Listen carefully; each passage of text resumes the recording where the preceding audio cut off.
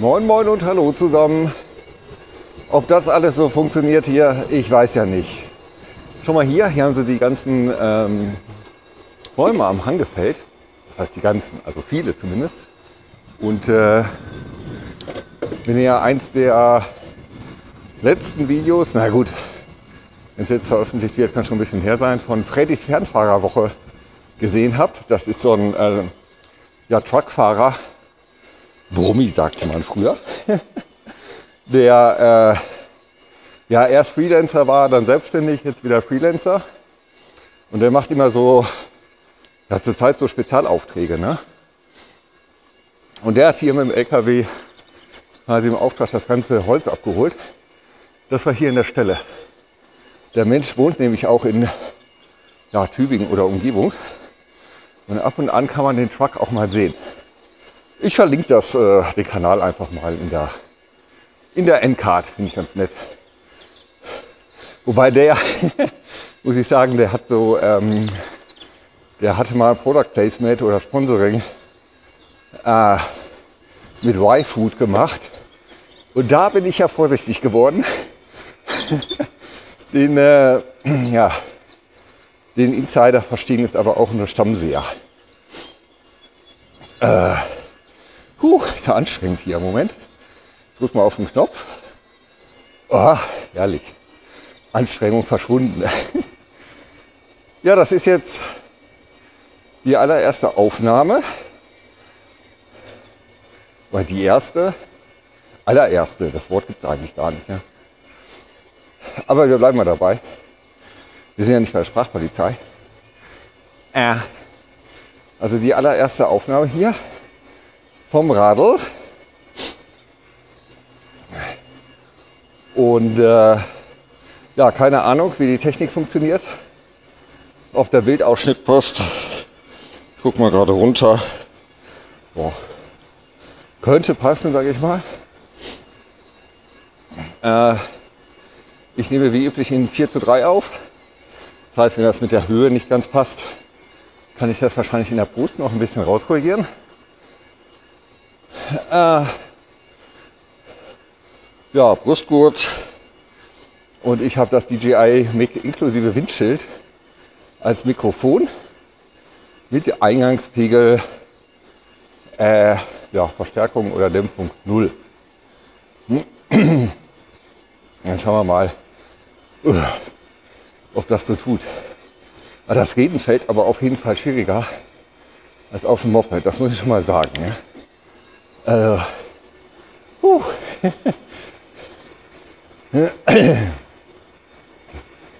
man ist ja auch keine 20 mehr. Äh, ich meine, man ist ja auch keine 30 mehr. Äh, ich meine, man ist ja auch keine 40 mehr.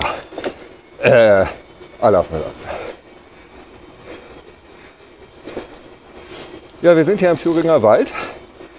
Äh, da bin ich heute Morgen von Stuttgart auch schon hingeradelt. Nein, bin ich nicht, sondern wir sind hier nicht weit weg von meiner Haustür. Ach, viereinhalb Kilometer sind wir erst unterwegs. Ich gebe euch mal die Rahmendaten hier, wenn wir sie schon haben.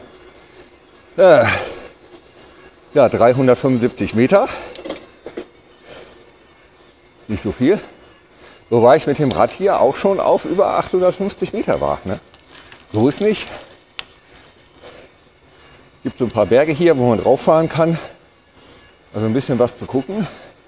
Wenn das hier mit dem Audio-Video-Setup klappt, haben wir durchaus. Oh, Gott.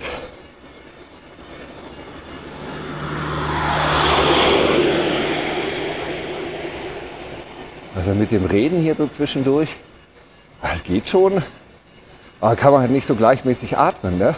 Ach guck, der Bus fährt auch.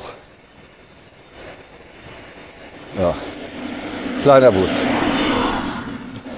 Ein Büssler. Bussi. Bussi, genau. Jetzt weiß ich endlich, was das Wort bedeutet. Also hier rechts. Aber das könnt ihr ja gar nicht sehen jetzt. Wenn ich meinen Kopf drehe, dreht sich die Kamera ja nicht mit. Das ist ja doof. Äh, hm, was machen wir da? Da könnte ich natürlich jetzt wieder Superview einschalten. Aber das mag ich ja bekanntlich nicht so, weil dann alles so mega verzerrt ist.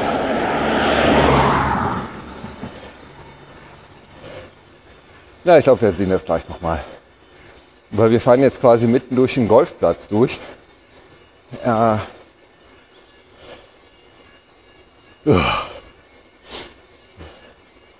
ist hier oben auf dem Berg auf einer Anhöhe gelegen. Ist, glaube ich, gar nicht so einfach zu spielen, weil es da eben doch ganz gerne mal ein bisschen Wind hat. Also jetzt nicht hier im Wald, aber gleich werdet ihr das sehen. Ja, ich denke vielleicht so 500 Kilometer habe ich bislang zurückgelegt auf dem Rad. Könnten auch 700 sein, ich weiß gar nicht so genau. Äh, so, mit dem alten Rad ohne Motor bin ich typischerweise gefahren so ja, maximal eine Stunde. Und das ist dann, sind dann so ja, 23 Kilometer roundabout. Und äh,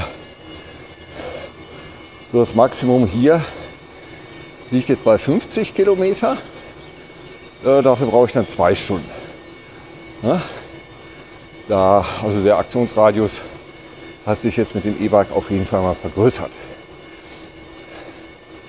Ist jetzt eine ganz äh, ja, bemerkenswerte Phase. also ich erzähle natürlich allen Bekannten und Kollegen ganz stolz, ja, wie weit ich wieder gefahren bin und welche Ziele ich hier aufgesucht habe und welche Berge ich erklommen habe mit dem Rad. Und äh, ernte dann meistens so eine, ja, äh, im, im besten Fall noch ein liebevoll gemeintes Lächeln. ähm, weil, ja, ich kenne halt so ein paar Leute, die fahren halt mehr so Exzessivrad. Äh, oder ich weiß gar nicht, ob das so exzessiv ist, aber äh, so 50 Kilometer am Tag, äh, naja, die fahren dann mehr so 200 Kilometer am Tag. Kann man überhaupt was verstehen oder hört man die ganze Zeit nur den Motor? Also für mich ist der Motor hier sehr präsent. Äh, aber die meisten Zusehenden möchten ja gerne äh, Motorgeräusche hören und finden das nicht so gut, äh, wenn ich das in der Post-Production äh, zu stark wegrechne. Insofern, ähm, ja, äh, habt ihr hier jetzt, das habt ihr jetzt davon. Jetzt hört man hier Motor.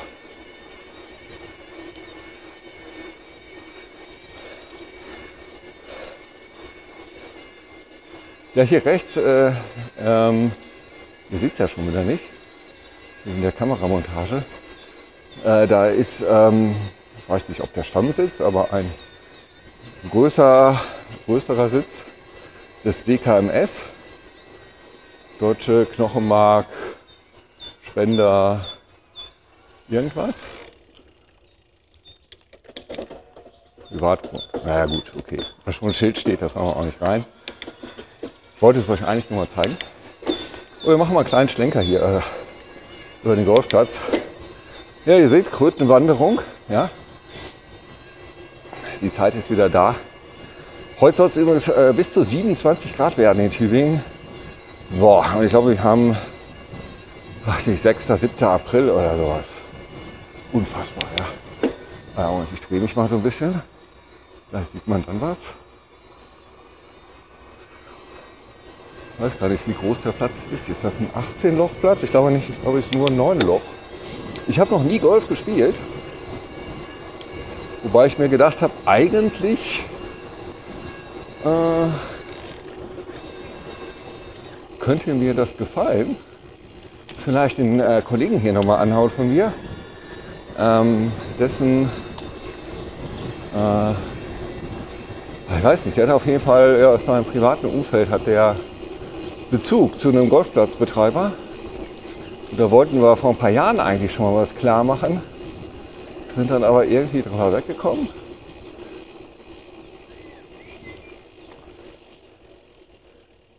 Ja, hier oben kann man üben. Okay. Na gut.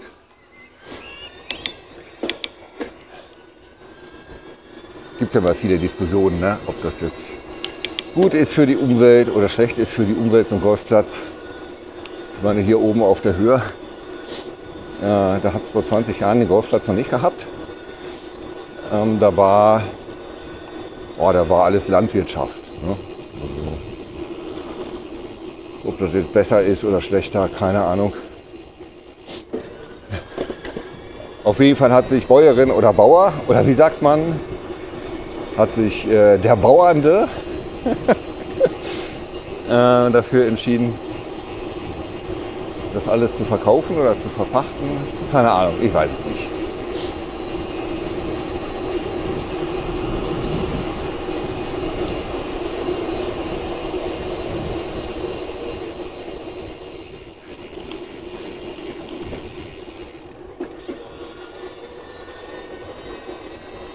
Die Tage hat im Drenis Podcast ähm, übrigens ähm, äh, haben die beiden Protagonisten äh, einen der tatsächlich äh, bislang besten Vorschläge zum Thema Gendern äh, ähm, eingebracht.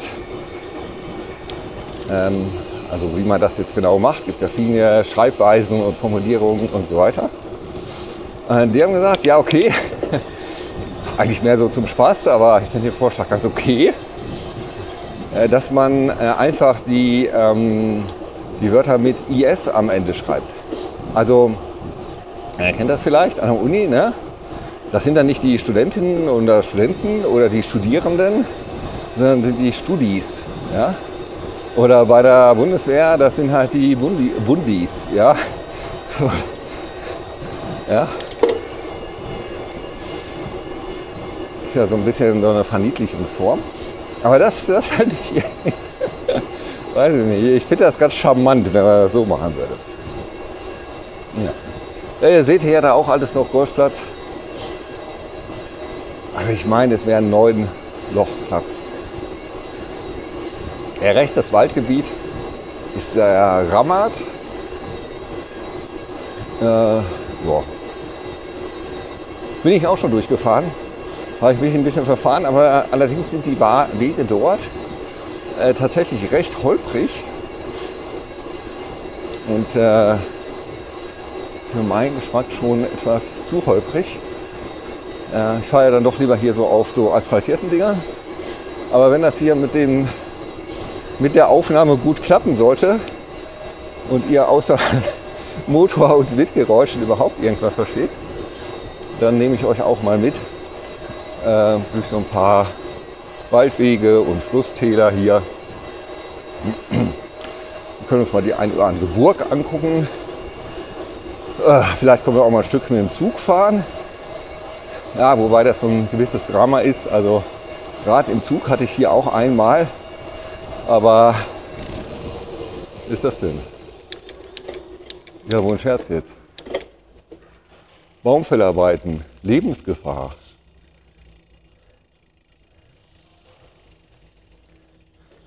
Durchgang verboten, auch für Fahrräder, auch für Motorräder. Bitte haben Sie Verständnis, dass wir bei diesen gefährlichen Arbeiten diesen Waldweg zu Ihrer Sicherheit sperren müssen. ja, das, äh, ist ja super.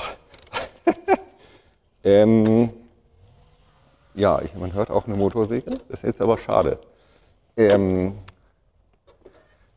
ja, das geht natürlich gar nicht. Ja, da muss ich mich ja da gehe ich ja bis zum Europäischen Gerichtshof, weil das kann ja wohl nicht sein, dass hier Bäume gefällt werden, dass schließlich auch Lebewesen mit Gefühlen und Emotionen und wenn man die so ansägt, dann erleidet so ein Baum nämlich Schmerzen.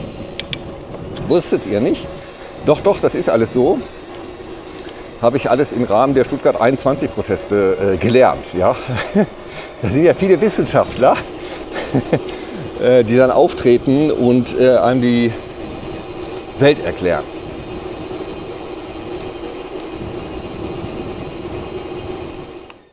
Ah, Ich habe ja so ein Wahnsinns-Déjà-vu. Also ich könnte schwören, hier war ich heute schon mal. Ich kann mir nicht helfen. ja. Aber wenn da vorne gesperrt ist, ist das hier auch die einzige Möglichkeit, wie wir weiterkommen.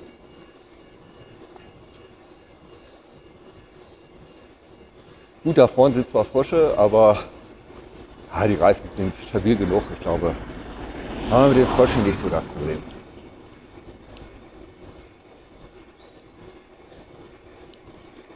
Ah, was hängt da vorne?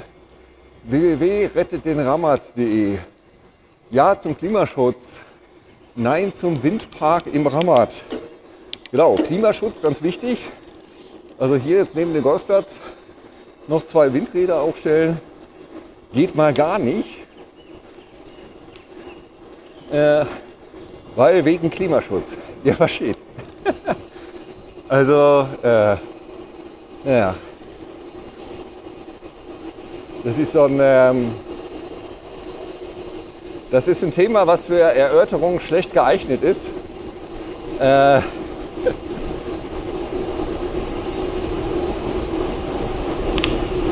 Ah, jetzt haben wir aber mal so richtig Wind. Da kann jetzt der, die Dead Cat mal zeigen, was sie kann. Wenn das gut funktioniert, dann spreche ich auch viel zu laut. Ich kann ja mal äh, normal sprechen, ob das geht. Also da lasse ich mich mal überraschen, ob das hier hinhaut oder nicht. 50 km/h, so roundabout.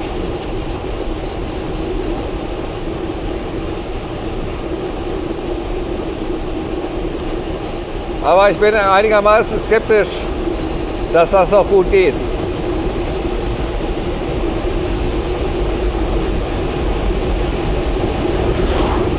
Oh, jetzt haben wir schon 60 km/h. Ich habe aber noch keinen Frosch gesehen. Aber ist auch klar, dass ich die Frosche nicht sehe, weil ich fahre ja viel zu schnell, ja?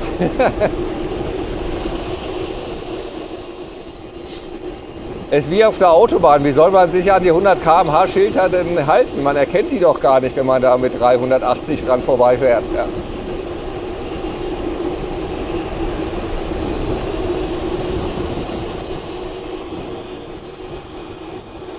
Ja, rechter Hand, ich drehe mich wieder so ein bisschen. Da geht es wieder nach Tübingen rein.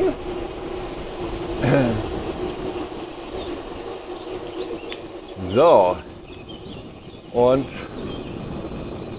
mal gucken, wie kann man, wo kann man hier denn weiterfahren noch? So ein bisschen blöd jetzt, weil hier wollten wir eigentlich gar nicht sein.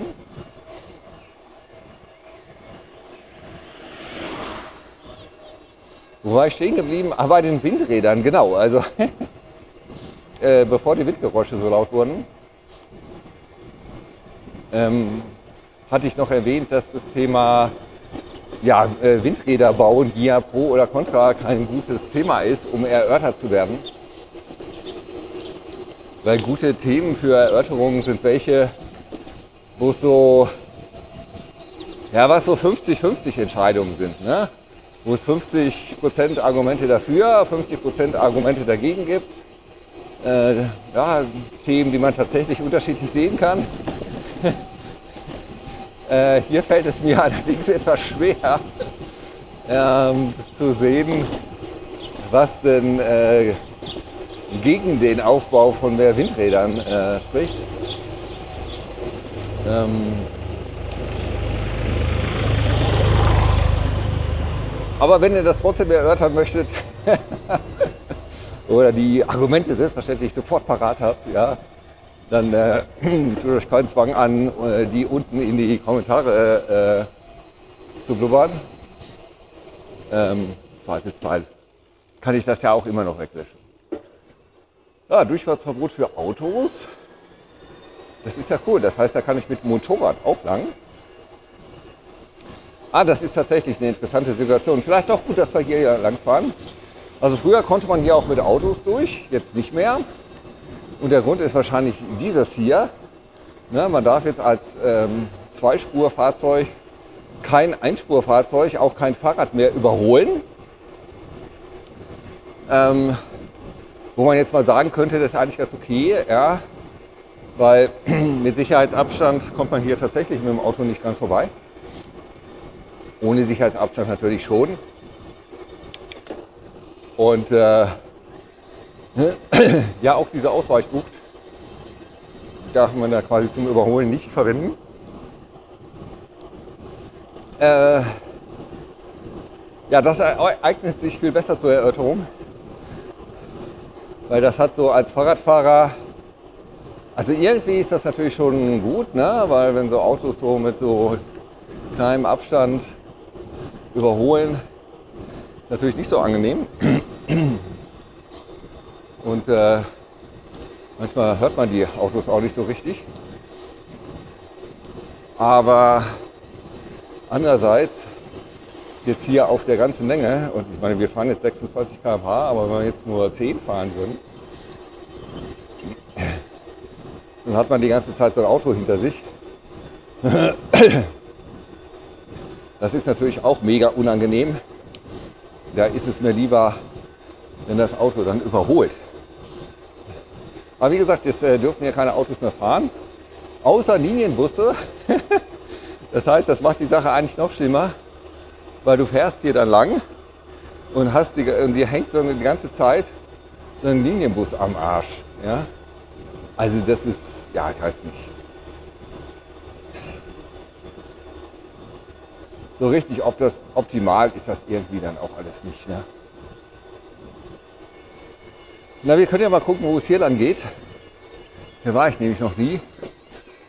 Äh, Fahrradweg geradeaus, okay. Ah, da hängt aber schon wieder das Schild mit den Holzfällarbeiten. Ja, das hatte ich mir schon gedacht. Jetzt ich nur auf der anderen Seite hier.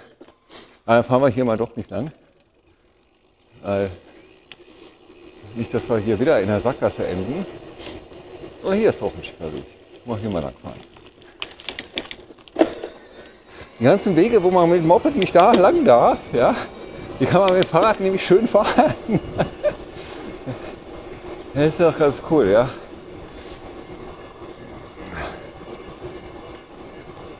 Genau, jetzt liegt Tübingen so halb links. Und äh, man könnte meinen, das ist hier trotzdem eine Sackgasse. Ja Gott, na ist nicht einfach hier kommen wir da denn dran vorbei?